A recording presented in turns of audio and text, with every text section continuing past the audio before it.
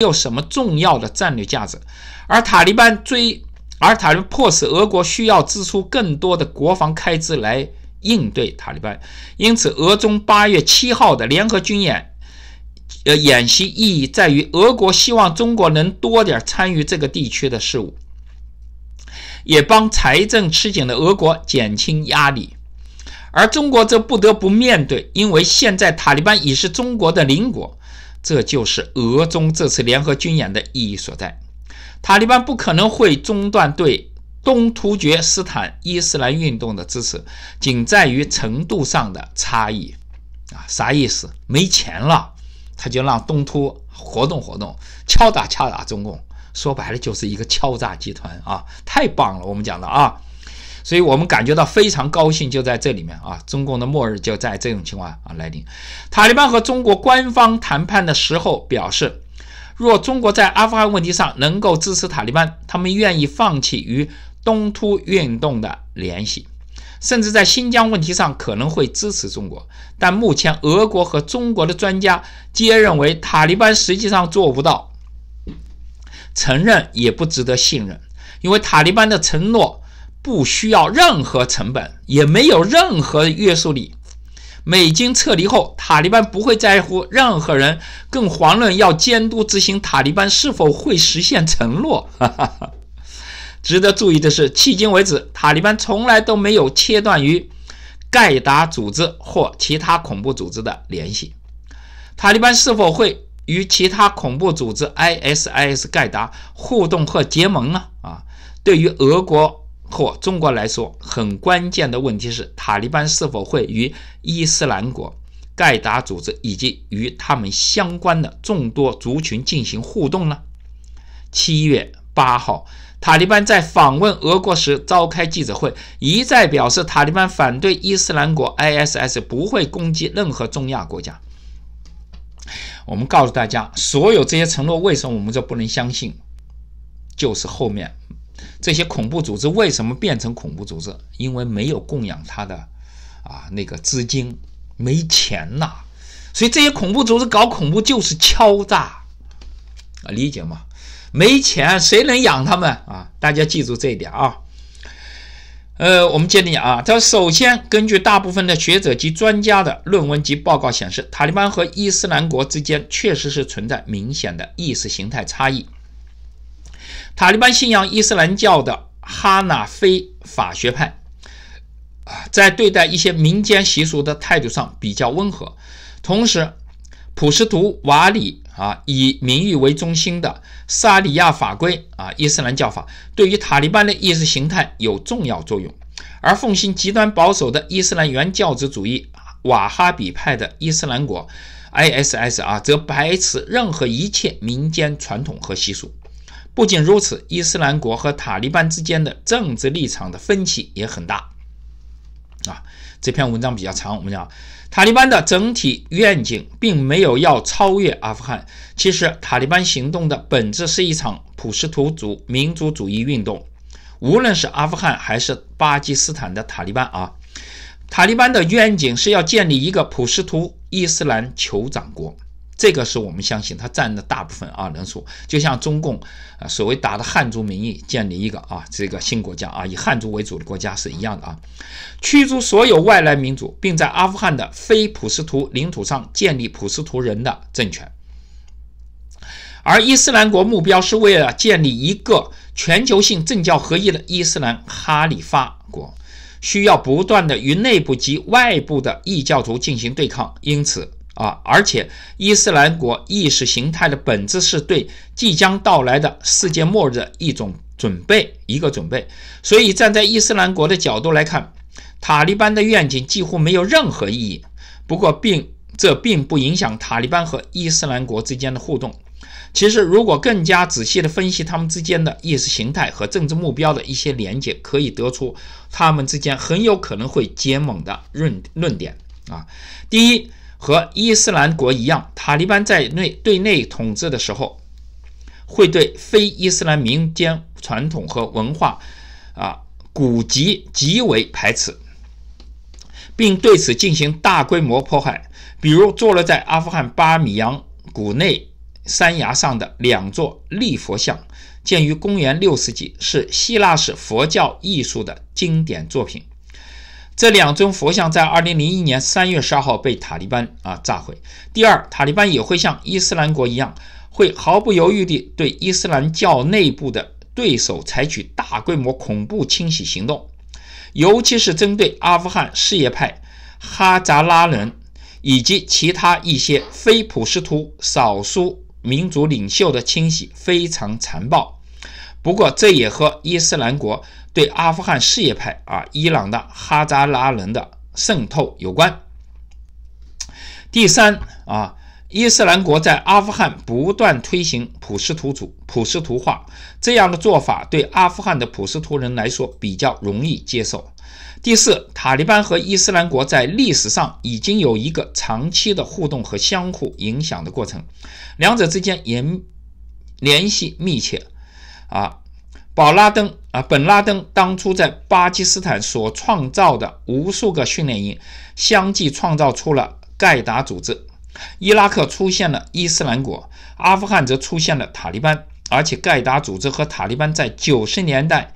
都接受了巴基斯坦情报局的赞助，而伊斯兰国后来是从盖达组织里面分裂出来的。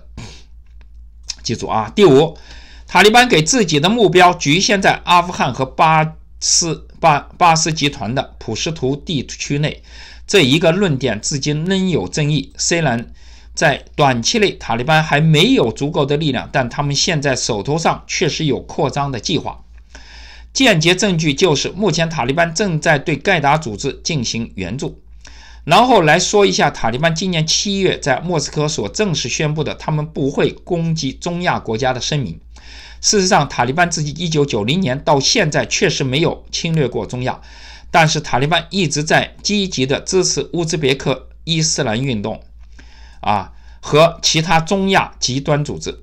而且这些年来，塔利班一直与他们保持同盟关系，而他们反过来又在中亚组织好了，组织了好几次恐怖袭击。一九九九年，塔利班呃塔什干爆炸事件和吉尔吉斯的巴特呃巴特肯战争，所以塔利班讲的没有错，他们确实啊，这后面没了啊，就是这篇文章太长了，我们讲到这个啊，这个提醒之间的复杂关系，也就是说。中亚这个地区虽然都叫伊斯兰，就像我们整个大陆地区都叫汉人一样，都信奉信奉什么？信奉儒家文化一样。然后它每个地区就相当于我们每个地区的省份一样，啊，每个地区的省份一样，啊。那么塔利班他有像共产党那个力量，能把这个中亚地区就形成了一个。啊，那个那个所谓的呃一个一样呃一个国一个国家一个民族吗？不大可能啊！共产党是基于我们都是汉民，所以他把各个省的区别全部消除掉了。否则的话，各个省就相当于啊这个中亚地区的各个部族一样啊！大家理解能理解吗？我不知道大家能不能理解啊？这样的过程，共产党可能希望他成为。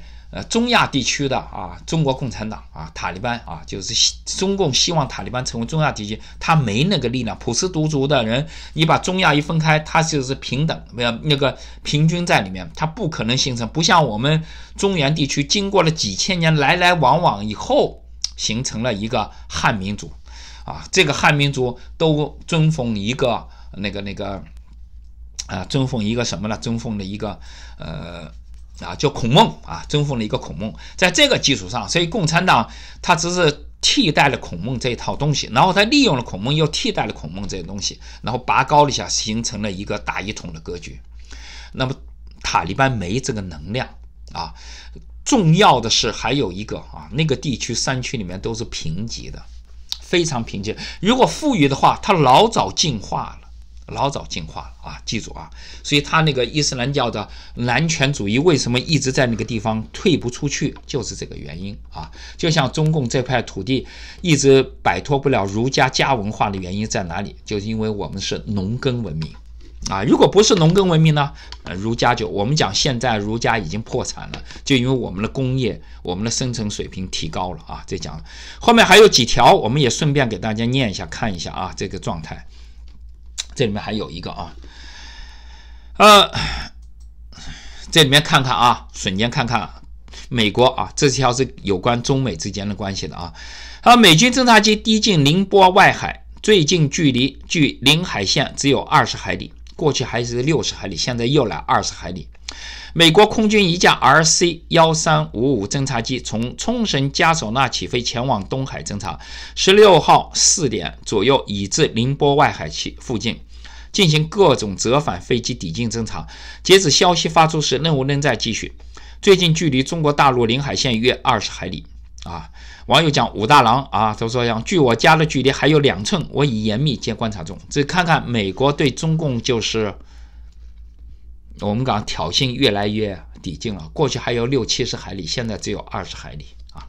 明白这个道理，大家知道怎么回事啊？我们不作了。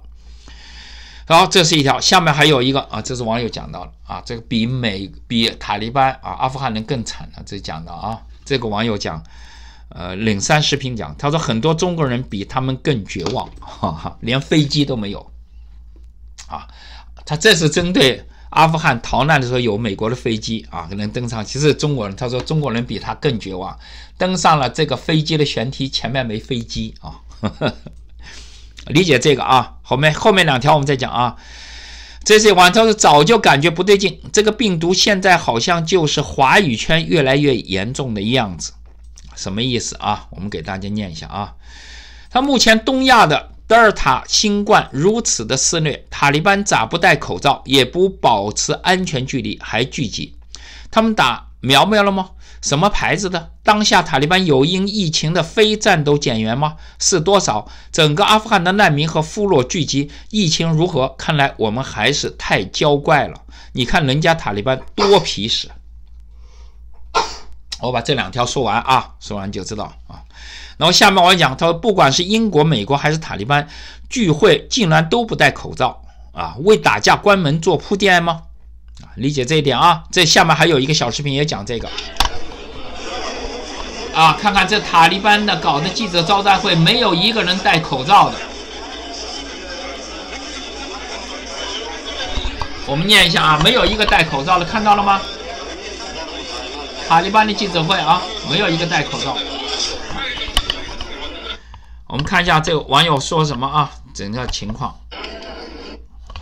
网友说不理解，说阿富汗人塔利班不是地球人吗？啊，他们那里没有疫情吗？啊，公共场合怎么没有一个人戴口罩的？懂吗？大陆的口罩是干嘛的？大家明白啊？大陆这波疫情干嘛？是共产党故意的，理解吗？啊，我们以前都说到了这一点啊。希望大家明白这个道理啊，明白这道理。好，这是今天的播报啊，我们告诉大家啊，呃，其实塔利班攻进阿富汗，对我们认为啊，对消灭中共来讲是非常好的啊一个局啊，这个局，中共既然跳进去了，这就拔不出来了啊，跳进拔不出来了。好，这是今天的播报。那么我们今天播报几乎全部是全军覆没，都是黄标啊。我们讲的都是黄标。呃，那么大家就帮忙我们宣传，多增加一点啊关注量就行啊，都增加的关注量，帮我们好好宣传一下啊，这是一个啊。那么当然备保下面也有啊，备保不受限制啊。我们讲到这个，呃，希望呃如果喜欢大家喜欢就多关注多宣传啊，我们的语音啊各方面的，希望大家就是这样情况。呃，那么我们从这一段过程当中，我觉得我们始终觉得黎明不会太遥远啊，你们黑暗很快就会过去，所以大家就一定要在这个阶段里面保命、保命、保命啊，保命，就不要太悲观啊，不要太悲观，记住这一点啊。虽然我们播报的有些东西好像看悲观的原因，是因为大家在坑里面啊，作为个体来讲是悲观的。啊，因为你要想办法你看。作为一个整体的族群和未来来讲是乐观的，这是我们讲到的这点啊。大家要区分一下，不要把个体绑在啊一个群体上面啊。记住啊，作为那个群体控制下来，个体是悲观的。我们讲的悲观，因为大家看不到出路，而且不知道明天共产党又拿挥起刀子怎么割肉了啊。所以大家要躲避，要保好保命，保命啊！这次讲到这一点啊，关键的。OK，今天的这段播报呢，我们就呃暂时啊到这里啊，呃，看来是全军覆没了啊，啊，希望大家呃理解啊就行了啊。然后想对我们做贡献，那么借这个机会啊，就多增加点评论，故据说多增加评论也有啊，也有流量啊，也有一个支持的，或者是多增加一点关注量也可以啊。好，谢谢大家啊，这是再见。